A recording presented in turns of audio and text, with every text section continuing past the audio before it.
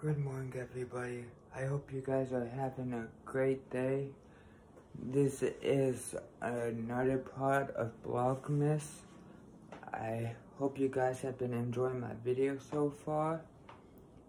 I just hope that I'm providing what you guys want. And I would love comments and feedbacks from you guys because that would help me out to figure out what you guys like. So I hope you guys have a good day.